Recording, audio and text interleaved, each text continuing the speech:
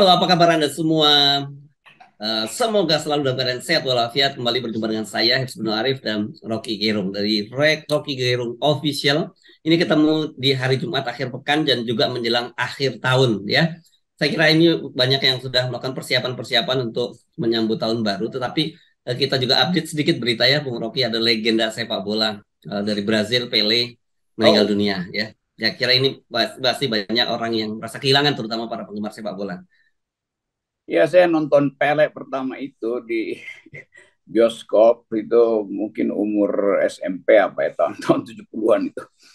Dan kita tahu bahwa uh, semacam kesyahduhan karena kita mengenang seseorang yang pernah atau bukan pernah terus-menerus jadi acuan dari sportivitas, uh, indahnya permainan bola dan um, mungkin Pele udah bikin ribuan gol itu. Tapi orang selalu ingat oh ada yang yang sederhana dalam uh, sepak bola yaitu uh, sportivitas. Jadi kita mengenang Pele dan uh, mengucapkan terima kasih pada almarhum yang mengajarkan kita bahwa di lapangan bola itu nggak nggak ada prinsip lain selain kejujuran itu intinya itu. Dan Pele uh, lihai untuk memasukkan bola tapi sekaligus orang anggap bahwa Pele itu semacam profesor di dalam uh, seluruh jenis sport.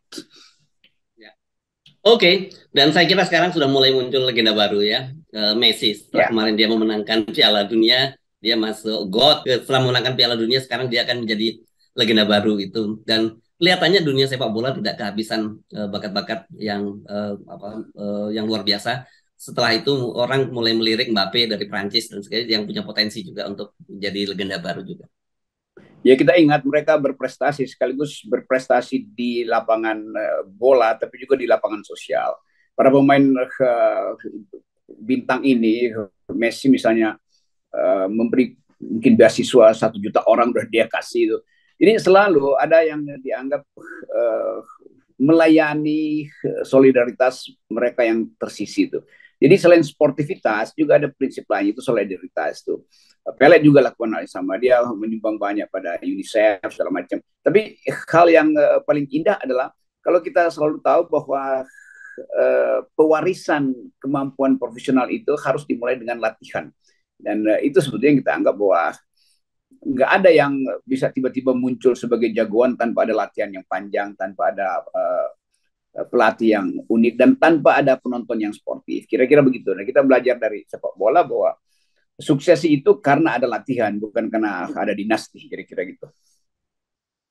Tapi setelah kita dari uh, Brazil, kita kembali lagi back to reality. Karena kemarin banyak orang mencari-cari bendera uh, Indonesia gitu, atau kok nggak ketemu di Piala Dunia. Tapi mereka juga bilang bahwa satu-satunya tim yang tidak terkalahkan waktu Piala Dunia itu Indonesia gitu. Banyak joke-joke semacam itu. Tapi ini menunjukkan betapa uh, bangsa ini sebenarnya butuh juga uh, semacam prestasi gitu di dunia olahraga atau yang lainnya setelah uh, di dunia dunia lain nggak nggak kita nggak terlalu banyak nggak punya prestasi yang membanggakan gitu misalnya kemarin data muncul data-data negara soal inovasi negara yang menghasilkan inovasi Indonesia ini juga di, untuk di Asia itu di Asia Tenggara pun juga kalah dibandingkan dengan negara-negara tetangga kita.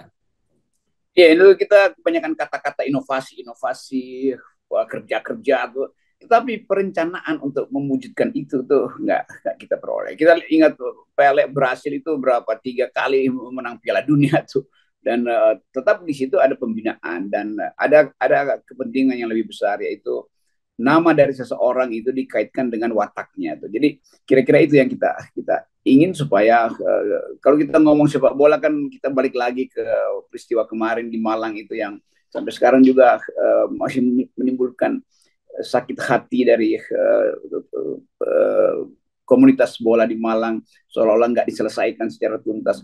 Jadi kalau kita mau berprestasi, kita selesaikan juga hal-hal yang membuat publik merasa kok di, di tidak dianggap ya hal-hal yang membatalkan semangat untuk berolahraga. Jadi sportivitas itu juga terhadap kejadian-kejadian yang memalukan mesti ada ada sikap sportivitas itu membereskan. Jadi sekali lagi Indonesia tentu punya potensi jauh di atas Brasil kalau dari segi populasi itu. Tetapi kan eh, bermain bola itu kombinasi antara nutrisi dan otak gitu dan dan dan ya. intelijen itu. Nah, itu yang mesti dijaminkan oleh pemerintah. Ya. Uh, uh, Brazil ini lima kali, Bung Rocky juara dunia ya, terbanyak gitu ya. Terus diikuti oh, Italia empat, diikuti Italia 4 dan kemudian Jerman 4 ya. Jadi ini uh, termasuk uh, salah negara sampai sekarang belum bisa disaingi gitu ya. Oke. Okay, Lima uh, kali tapi tiga kali itu prestasinya Pele. Iya, iya. Oke, kita kembali ke realitas di di di, di apa dunia politik kita hari-hari ini. Kemarin yang sangat menarik itu uh, ketua KPU uh, Hasim Asyari memberikan sinyal itu bahwa dia dia minta agar para uh, caleg, bacalek belum caleg ya, bacalek itu uh, untuk tidak segera belanja iklan dulu, pasang baliho dan sebagainya karena sekarang sedang ada gugatan uh, soal sistem pemilunya presidensial ter, uh, proporsional terbuka diminta kembali tertutup dan yang mengajukan kadernya itu ada dari uh, PDIP dan juga dari Nasdem dan kita tahu sebenarnya dari sisi partai yang mewacanakan ini sejak awal PDIP itu lewat Sekjen Hasto Kristanto gitu. Jadi ini orang kemudian banyak uh, kembali uh, orang ingat-ingat bahwa ah, ini berarti uh, oligarki partai politik akan kembali menguat. Itu bahayanya. Ini kan kita mengingat uh, apa ya? Zaman Orde Baru kan sistemnya uh, tertutup kan, sehingga orang cuma tahu oh ada vote getter itu menteri-menteri presiden Soeharto itu beredar di mana-mana itu pasti menang lah Golkar tuh. Dan uh, sebetulnya kalau kita lihat dalilnya presiden kita dipilih langsung dan itu artinya rakyat juga ingin dia memilih langsung wakil-wakil yang akan mengawasi presiden kan. Kan kalau kita lihat sistem politik presidensial, artinya kita memilih dua dua lembaga presiden dan yang akan mengawasi presiden tuh. Jadi nggak mungkin kalau presiden dipilih langsung, tapi anggota yang akan mengawasi ditentukan oleh partai. Jadi partai akan kong kaling kong dengan anggota DPR supaya presiden jangan terlalu dikritisi di, dong. Kan lain kalau rakyat yang memilih langsung wakil-wakil di DPR, maka terjadi uh, pengawasan yang langsung dari rakyat. Kalau ini presiden hanya diawasi oleh partai politik, bukan bukan oleh anggota DPR yang dipilih oleh rakyat. Itu artinya oligarki di dalam partai akan menentukan arah politik.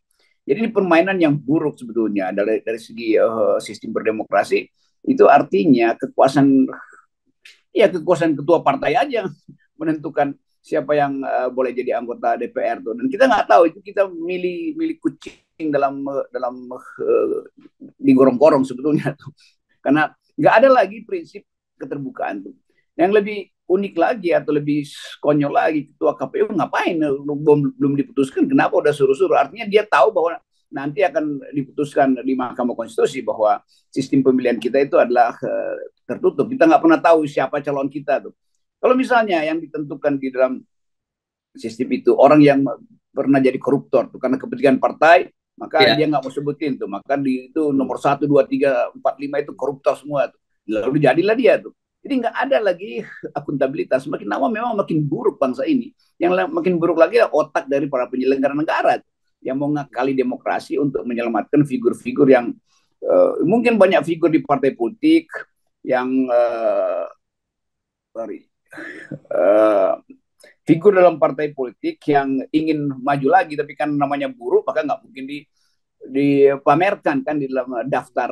Kalau daftar terbuka kan mesti kita tahu di partai A calonnya siapa tuh. Ini sekarang diselundupkan uh, tokoh-tokoh itu. Jadi bakal banyak politisi busuk itu yang akan numpang di dalam sistem yang tertutup ini dan ketua partai pasti akan kebanjiran uang sogokan. Siapa yang punya uang walaupun koruptor dia akan nyogok kedua partai supaya namanya itu yang ditaruh di nomor satu tapi jangan dipublikasikan tuh. Nomor partainya aja yang ditaruh. Jadi pembicaraan kita tentang demokrasi makin lama makin menjijikkan itu. Dan itu sebetulnya yang membuat uh, indeks demokrasi kita turun terus. Ya, ya. Dan kalau kita ingat kan kemarin juga sebelumnya PDIP sudah minta agar eh, nomor partai politik itu tidak diubah, gitu ya dan itu juga dikabulkan oleh KPU gitu. Dan saya sih juga percaya bahwa ini kan e, kaitannya pas juga akan dikabulkan oleh Mahkamah Konstitusi. Kenapa? Karena nggak ada urusannya dengan dengan uh, kekuasaan ya. Justru urusannya bagaimana melanggengkan partai-partai besar itu. Kalau PT 20% kemarin kita udah tahu pasti itu akan ditolak dari cara mana pun akan ditolak. Tetapi sebenarnya yang sangat menarik adalah apa yang disampaikan oleh ketua KPU dia men, dia memprediksi lah kira-kira gitu walaupun dia belum sampai kesimpulan ini pasti akan akan di akan uh, digolkan oleh Mahkamah Konstitusi dan kok saya juga percaya sih itu. Iya itu ada insider trading akhirnya ada info dari Mahkamah Konstitusi yeah. masuk ke KPU tuh sehingga KPU seolah-olah bergembira tuh bahwa uh, desain yang dibuatkan oleh negara itu memang sesuai dengan mungkin perjanjian waktu komisaris-komisaris KPU ini di, dipilih di DPR lalu diangkat oleh presiden. Jadi kita mulai membaca bahwa pengangkatan ketua KPU atau komisaris-komisaris itu pasti transaksi partai-partai kan. Nanti kalian uh, promosikan ya bahwa sistemnya balik pada sistem orde baru, artinya balik pada otoritarianisme partai itu. Jadi sekali lagi kita justru kita ingin supaya politik itu tidak terbagi habis dalam partai. Jadi misalnya ada calon independen tuh, jadi mesti terbuka. Kalau kalau begini kan dua tiga partai konco-koncoan tuh dan taruh semua nama di situ dan dan mungkin kan eh, mereka menang tanpa ada evaluasi dari rakyat. Partai-partai baru misalnya yang punya tokoh-tokoh kritis, gelora, umat misalnya, itu pasti akan terhalang karena orang nggak tahu siapa yang akan dicalonkan oleh gelora, siapa yang dicalonkan oleh umat. Apakah ini bagian untuk menghentikan mereka? Padahal sebetulnya dari awal semua orang bikin partai supaya menggelorakan eh, hasrat publik untuk melihat calonnya siapa ya calon legislatif itu. Kan nggak mungkin orang asal nyoblos dan dia tahu siapa yang dia pilih. Kan pemilihan langsung itu artinya kita milih orang bukan kita milih partai yang nantinya partai milih orang. Itu kan dua kali namanya itu. Nah itu penipuan kartel politik di dalam partai-partai ini yang eh, kelihatannya juga diajukan ke KPU dan karena itu KPU seolah-olah udah gembira tuh. Jangan dulu ya karena ini lagi di lagi dibahas dan kelihatannya dia udah tahu bahwa akan dipastikan bahwa Mahkamah Konstitusi akan menerima uh, klaim atau permintaan dari partai-partai besar terutama PDIP yang memang dari awal menginginkan ya. sistem tertutup. Ya, ya, ya. Saya kemarin uh, uh, sempat hari pekan lalu sempat makan siang dengan seorang petinggi partai politik dan juga dia kebetulan juga uh, di tinggi di lembaga negara. Yang dia dia dia menyatakan bahwa ini bagian dari uh, upaya untuk menyederhanakan partai-partai gitu. Karena di, hampir dipastikan partai-partai baru itu peluangnya sangat berat. Dan uh, partai-partai lama akan berkuasa. Dan yang yang bahaya juga sekarang kan beredar uh, si uh, pernyataan keras dari Fahri Hamzah uh, wakil ketua umum Gelora yang mengingatkan bahwa ini mau mengarah kepada seperti negara komunis gitu. Bagaimana partai itu sangat berkuasa Ya itu di dalam eh, teori ilmu politik namanya uh, elected autocracy. Jadi hmm. dipilih untuk memperkuat uh, mereka sendiri itu bukan untuk memperkuat rakyat ini. Jadi otokrat-otokrat ini disodorkan tanpa melalui seleksi publik. Karena itu politik akan jadi kekuasaan partai itu. Partai dikuasai oleh satu orang, oleh satu dinasti, maka politik akan dikuasai oleh dinasti itu. Jadi menghindar dari prinsip demos. Demos artinya untuk mengevaluasi orang yang lain tuh. Kalau sekarang nggak ada orang yang mampu mengevaluasi ketua partainya tuh. Bahkan di dalam partai oligarkinya justru udah ditumbuhkan dari awal tuh. Jadi udah siap-siap semua orang yang punya uang pasti udah nempel ke ketua-ketua partai ini duit gue ya. Tolong taruh nama gue tuh di nomor satu. Tapi jangan dipublikasi karena gue mantan koruptor. Kira-kira begitu kan. Jadi dengan mudah kita tahu bahwa ini persekongkolan jahat untuk membatalkan kedaulatan rakyat. Ya, nah kalau kita amati ya, Bung Rocky, ini kita eh, kok melihat bahwa politik kita itu mengalami pemburukan di sana sini. Pilihannya sebenarnya gini, kalau eh, tadinya kita berharap bahwa oke okay, tetap eh, eh, bahwa batal itu rencana eh, penundaan pemilu dan perpanjangan masa jabatan gitu ya, karena itu memang betul-betul bertentangan dengan demokrasi. Tapi ternyata kalau kemudian pemilu juga berlangsung, eh, ternyata eh, desainnya juga dipersiapkan dengan buruk juga bahwa ini bagian dari melanggengkan eh, para oligarki partai-partai ini. Gitu. Jadi semua keburukan memang didesain dari awal. Semua hal kita kita harus curiga akhirnya kan. Ya tiga periode gagal, oke, okay. perpanjangan. Perpanjangan juga gagal, oke, okay. penundaan pemilu. Pengunduran juga gagal, oke. Okay. Kalau begitu dipastikan aja bahwa yang akan ikut pemilu bukan orang, tapi partai. Jadi hal semacam ini yang bertentangan dengan prinsip kedaulatan ada di tangan rakyat, bukan di tangan partai. Kan itu dasar-dasar semacam itu yang yang uh, satu waktu mungkin akan kita gugat lagi tapi kita udah pesimis mau digugat apa ya karena justru uh, eh, KPU dan uh, Mahkamah Konstitusi bersekongkol dengan istana untuk memuluskan soal-soal yang diperjanjikan secara diam-diam di antara partai-partai politik. Kita juga menduga apa itu tambah dengan PDIP supaya PDIP nggak ngambek pada Pak Jokowi. Ya udahlah, nggak jadi presiden PDIP tapi partainya tetap nomor satu dan uh, itu artinya seterusnya partai PDIP dan beberapa partai besar akan ada di dalam eh, sistem elektoral dan partai lain itu kita kita buang aja karena pasti nggak lolos. Kan bayangkan misalnya kalau Partai Umat, Partai Gelora itu nggak ada tokoh. Lalu orang berpikir siapa yang di belakang Gelora atau Umat? Pada Partai Umat, Partai Gelora ini dua contoh dua partai baru ini berupaya untuk meng, menginspirasi rakyat dengan ketokohan itu kan. Dan itu yang ingin ditampilkan tuh. Siapa yang akan jadi uh, calon nomor satu di DKI dari Gelora, nomor satu dari uh, Partai Umat? Kan orang nggak tahu tuh. Jadi disembunyikan sebetulnya potensi uh, orang-orang baik ini untuk muncul ke publik. Jadi sialnya di situ tuh. Masuk kotak suara kita nggak bisa bedain. Jadi gelora apa, apa umat itu apa bedanya tuh? Karena nggak ada nggak ada daftar namanya di situ kan. Golkar ya udah orang udah kenal, PDIP orang udah kenal. Jadi sekali lagi eh, tokoh-tokoh yang harusnya berkualitas nggak bisa dimunculkan lewat partai-partai baru ini. Artinya di desain negara itu pemerintah eh, penyederhanaan partai artinya menghilangkan partai-partai baru itu itu dasarnya. Padahal mereka udah capek-capek ikut KPU. Lain kalau misalnya di di awal bilang oh ya eh, sistemnya akan tertutup, mungkin gak ada orang yang mau bikin partai. Sekarang udah keburu bikin partai, verifikasi mahal-mahal, akhirnya di ujungnya dipasang juga barrier bahwa yang akan menang adalah partai-partai yang udah dikenal gitu. Kenapa? Karena tokoh-tokohnya orang udah ingat. Nah, partai baru ini yang ingin di, di uh, dimunculkan sosialisasi lewat toko nggak akan muncul namanya di kertas suara.